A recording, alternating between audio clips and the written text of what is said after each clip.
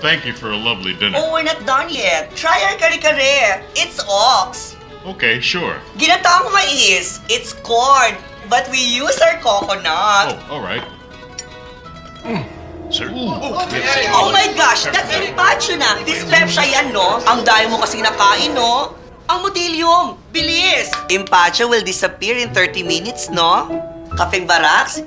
Motilium, bilis disappear ang empacho.